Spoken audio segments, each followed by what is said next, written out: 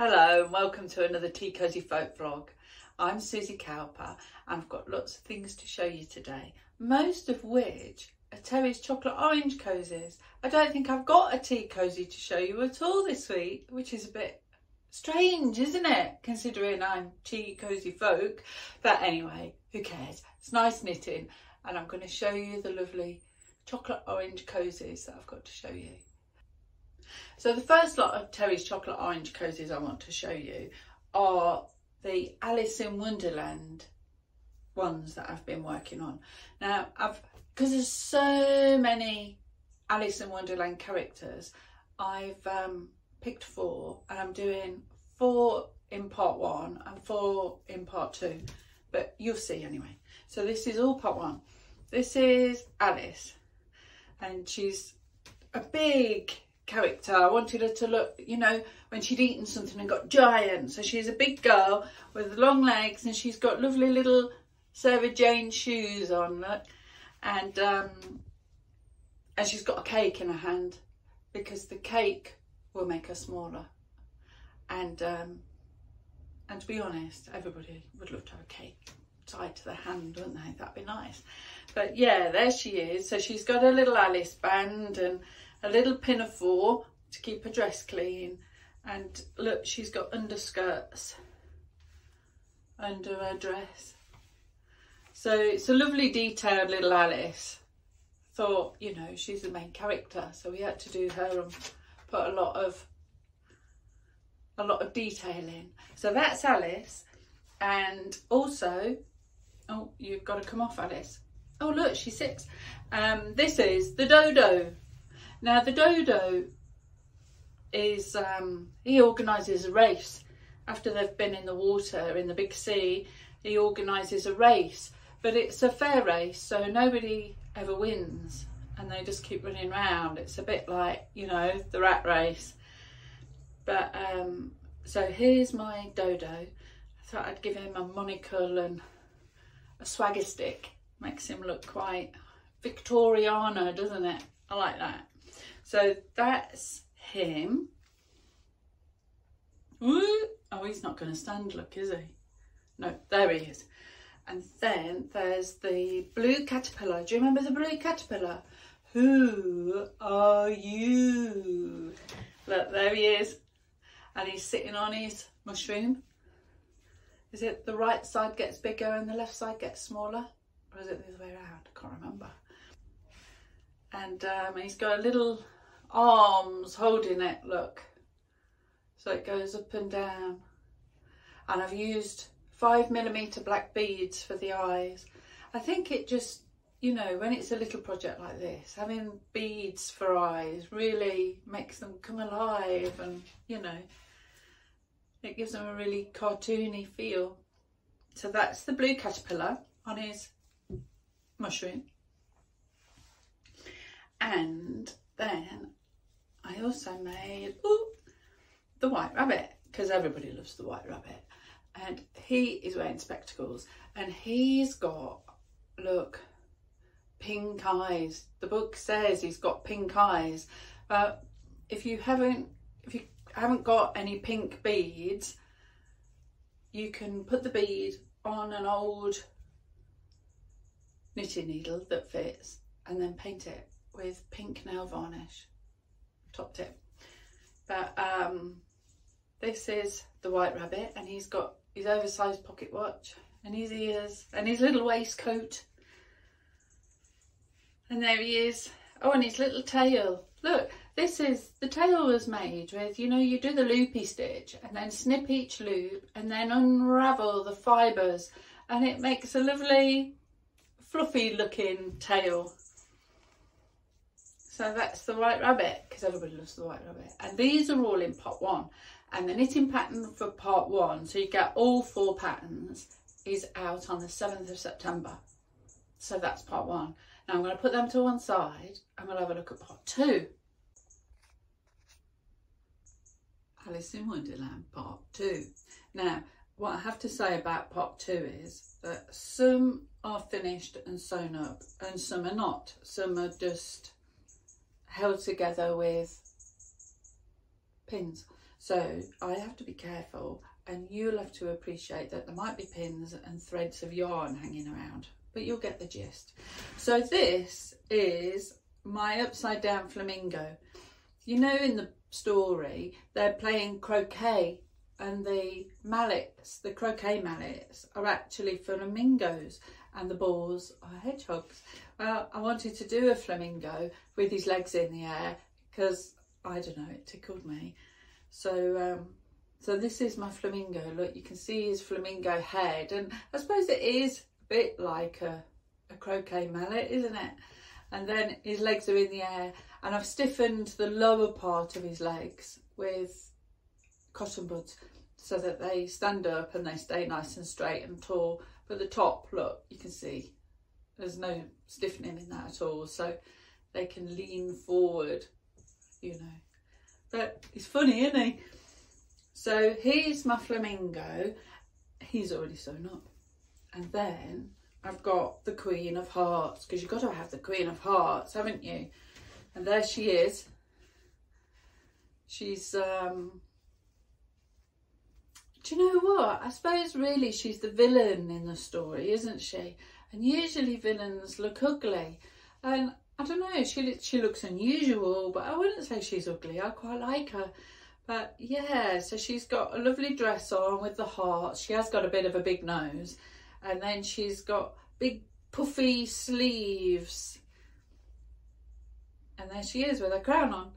So, and I like the way, you know, the humps on her hair that old style they used to do. But I like that it kind of makes her face look heart-shaped. I quite like that. Anyway, that's the Queen of Hearts. And then, oh, this is the Mad Hatter. Look at him. So, oh, and he's got his teacup, his cup and saucer. Look, you could put those together if you wanted to and um, he's got his cup and saucer with the dormouse in his cup. He's sweet, isn't he? I thought he was rather cute. So um, this is the Mad Hatter and he's got an oversized hat on and he's got coattails at the back. He's got an old fashioned jacket on, big feet and a big nose and he's got a row of loopy stitch for his hair just to make him look a bit mad. They're nearly all mad there. So that's the Mad Hatter. He's lovely, isn't he? I like the purple. It's um, Stylecraft DK Violet. It's really nice. I don't get a chance to knit with purpley colours much, so it's really nice when I get the chance to get the purples out. So that's really nice. Anyway, that's the Mad Hatter and then oh look this one's I've not even started stitching him up yet. But this is the Cheshire Cat. I love the way his tail stands up. I love that. And his little head. I've given him green eyes. And because he's got the big smile at the bottom. His legs and feet his legs and feet don't all match yet because I've decided I like these feet better than those ones and this one better than that one. But I've got to finish that off and finalise him and get him all sewn up. And I'm just in the stages of typing up the pattern and re-knitting it to make sure it all works. And then I'll ask a test knitter to knit them for me. And this will be on sale later in the month. I think it's the 21st of September that it'll be live on the website to buy. This is pot two. So, you know, you can get pot one and then you can get pot two. So, and they're quite long patterns. I think both of them about 10 pages to each pattern. So they're quite long patterns. But yeah, they're the Alice in Wonderland chocolate orange cozies. We're going to have a short break now from Terry's chocolate orange cozies for a sock update. Breaking news! Susan's finished the socks. These are the socks I was knitting for my daughter. And they're just plain vanilla socks, look, with a heel flap and top down. So just simple, easy socks. But these were the socks that I was taking, you know, when I went away and on holiday and on long car journeys, just for something to do while I was in the car. I wasn't driving, but these were my holiday socks, I suppose, my little travelling project. And I finished them, there's two, so that's good. They're really nice and warm and they're for my daughter to keep her toes warm this winter. So she'll be pleased. Now she can have them now, shown you. I said you can't have them yet because I've got to show people on the vlog, but now she can have them. So she'll be pleased with that. That's good news. The Tea Cosy Folk calendar's ready. Oh, look at that. It's so colourful, isn't it? And it's A4 size. Look, you can see how big it is. Look, compare it to a chocolate orange. So you can just gauge the size. Sometimes with photos, you can't see how big things are, can you? But it's A4 size and it comes in a nice wrapper to keep it nice and clean and pristine. And, and these are the 12 cozies that are featured inside. I'll show you. So here's one not in its wrapper, look. So, oh, this is the first page has got, look, it's got your um, knitting abbreviations and I don't know, materials. Well, no, it's not got the materials actually. It's got about knitting pattern help, tension, sizes, that sort of thing, terms of use, all that, you know. And then the pages look like this. So you've got the calendar part at the bottom, but then for January, we've got an owl chocolate orange cozy and there's a list of materials here what you need to make the owl and there's a little quote and this is for January and if you need help each page has got a QR code so you can scan that with your mobile phone with a smartphone and it will take you straight to the help video and um, there's also a link if you want to type it in on the actual knitting pattern and then on the back is the pattern.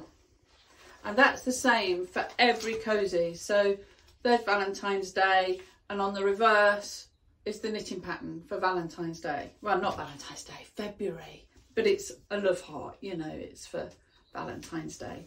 So there's 12 pages all of which of the same format and then oh look Christmas is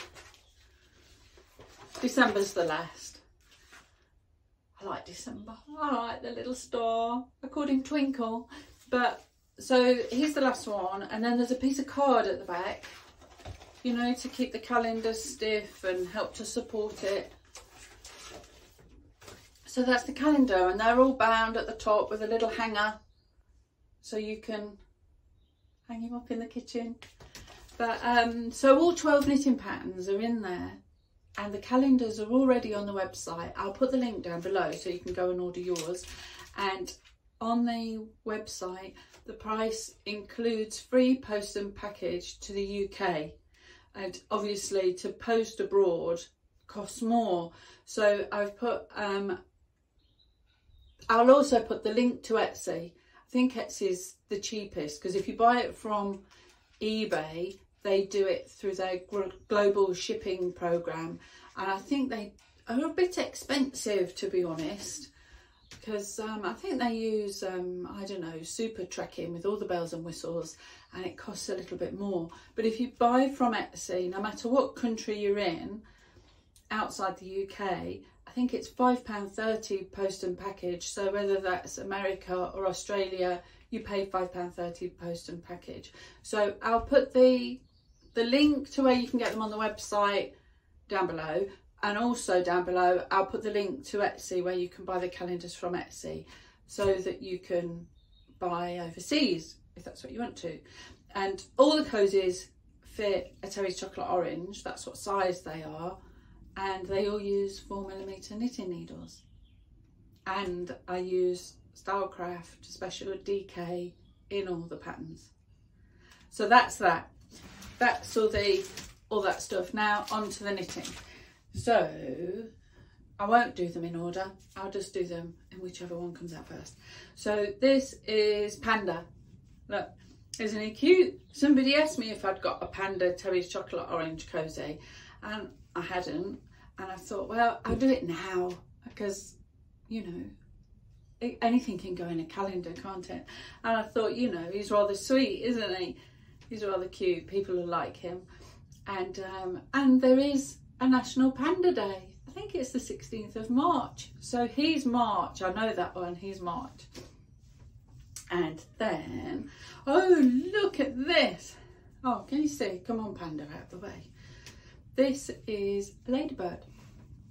And um, I thought he'd be lovely for one of the summery months. And he's got his little legs and his antenna at the front. oh, I'm going a bit croaky. And then he's covered in spots. So that's the ladybird. Can't remember the month. This is January. We've just seen him in the calendar. This is the owl and he's January. And he's rather cute. He's all knitted in one piece and his little ears pop up at the top. So that's the little owl. You know, and you can change the colours of these to any colours that you like. You know, it's great for stash busting. Use up all your odds and ends and make cute little cozies. They're lovely, aren't they? They're nice to knit and make and give as gifts. So a little mushroom with spots. Oh, I like this one. Look at this. I love daisies. They're my favourite.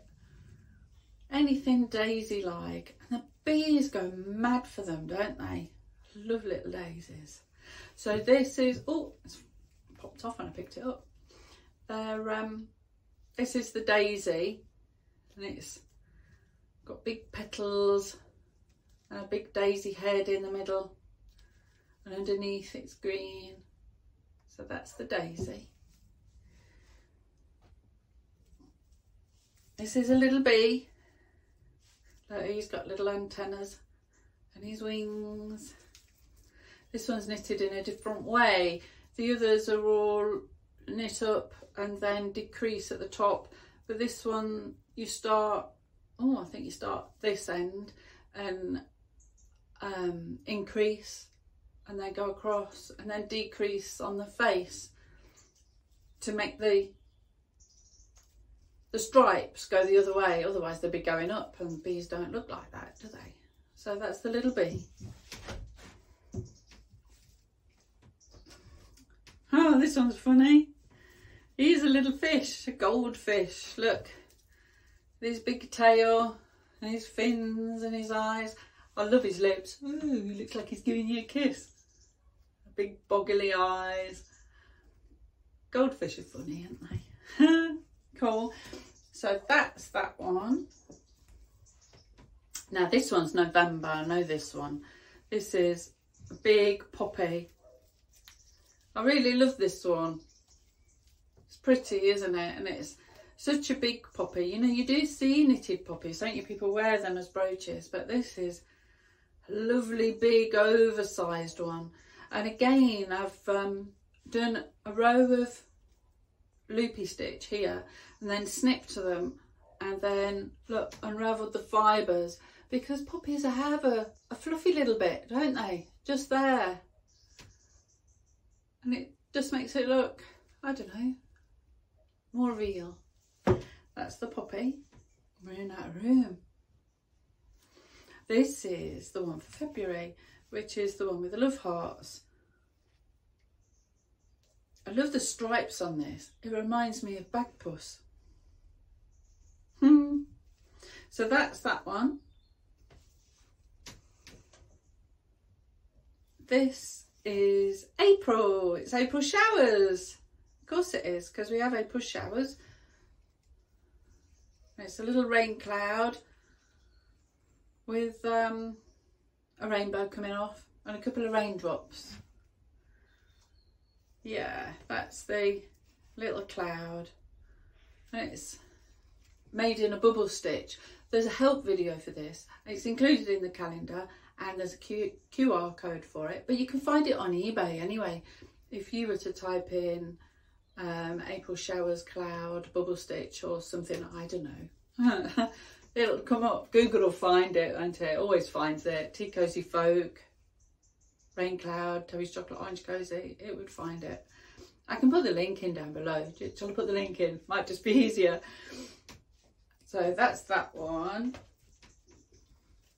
Oh, look away now if you don't like spiders. I'll call you back.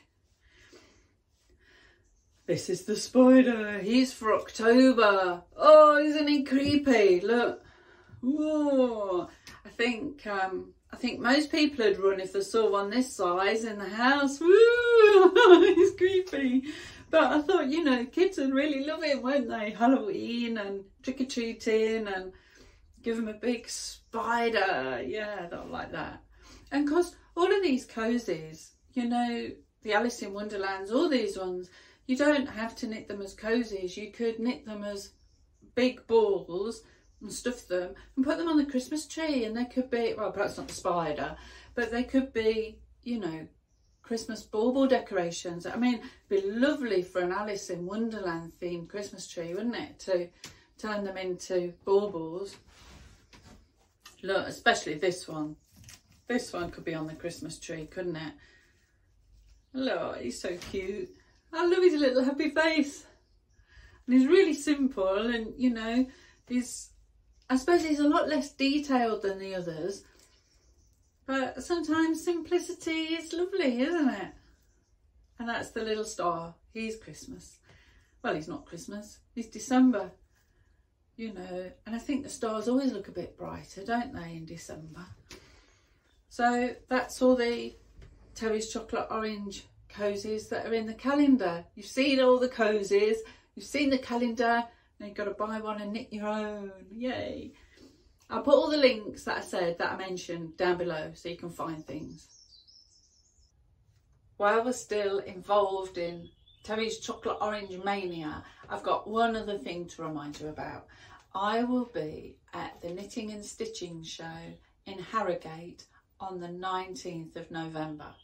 Now, it sounds a long way off, but it's going to race up to that time and we'll run out of time. So I just need to show you this.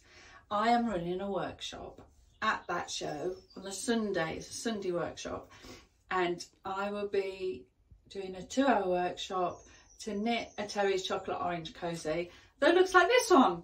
And this one's got loads of the quirky little stitches that I use in my tea cozies and in my Terry's Chocolate Orange cozies. And, you know, and it's just so you can practice and try out all these new stitches. So, you know, there's bubbles and that quirky cast off that I like to do and adding a frill so you don't have to sew it on, you know, it's knitted on and loopy stitch and this funny cast on cast off stitch and it's going to be topped off with a little bell at the top for Christmas. Just makes it feel a bit festive, doesn't it, with a bell on the top. And um, and the workshop is two hours long and we'll sit and make one of these. We'll do one together. I make one too. And all the yarn supply, uh, supplied, all the yarn is supplied and there'll be a Terry's chocolate orange supplied because you, you need a model, don't you? And I'm also going to be giving everybody who attends the workshop a free chocolate orange calendar. So we'll all have a calendar as well.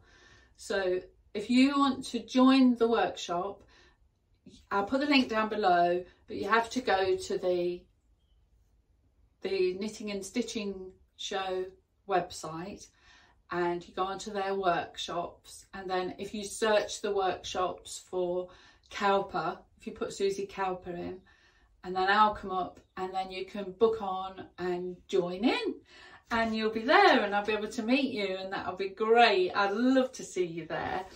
And um, and it'd be nice to have some friendly faces there as well, people who I, you know, I already know, that'd be really nice.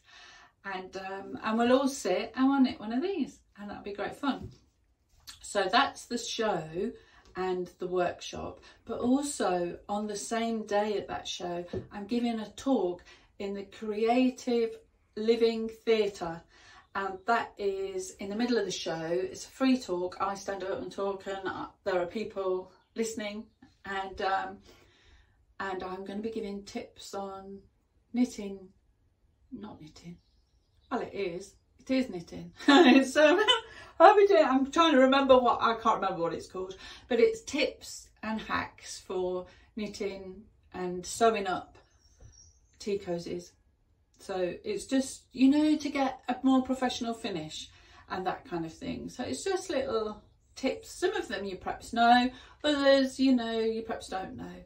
But, you know, if you like me, I do, even if, you know, I see on Facebook a thing and they're saying, oh, we're going to give you some tips on knitting. I always watch them because I want to improve. Always, it's like, oh, they might show me something I don't know. So I watch them just in case there's that one little nugget of information that I've never heard before. So I can add it to, you know, my knowledge and, and use it. You know, there are things that I think, oh yeah, I'm going to use that. There was a fancy way to join two bits of yarn together. Apparently it's the strongest knot in the world. I've completely forgotten what it is, but I'm sure if I Googled it, I'd find it again. But anyway, so it's about tips and hacks. So you'll be able to come along to that as well.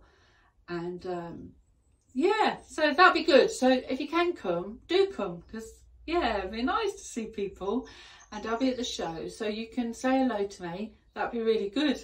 I'd like to meet you. So yeah, so I'll be at the show on the 19th of November. See you there. I've not done another sketch for my next tea cosy pattern. I'm, I've got to do that. I'll perhaps do that tomorrow. But what I'm thinking is for the next project, I want to make an elephant tea cosy. But you know how they decorate Indian elephants and they have the big things on the front of the face and I don't know, just decorative stuff everywhere and big tapestries and rugs and things on their backs. That's what I want to do next because um, I've always loved elephants. They're lovely, aren't they? And you know, they're big, majestic animals. But you know, when you watch the documentaries, they do have human traits, don't they? And they're sensitive souls. They're so adorable. So it'd be lovely to have a nice decorated elephant to celebrate elephants. That's what I thought. So that's my next project. And um, I'll be doing the little blog about that and a little video tomorrow and it'll be online so you'll be able to pop along and have a look. I'll put the link to the blog down below so you can check it out. But that's all I've got to show you this week and um, and it's all been chocolate orange cozies really hasn't it? But um, I hope to see you next month. And, um, and I'll have something different to show you. Hopefully I'll have an elephant to show you. That'd be good. And um, yeah, so that's all folks. And I'll see you next month in October. So stay, stay safe and well. And I'll see you soon. Happy knitting. Bye.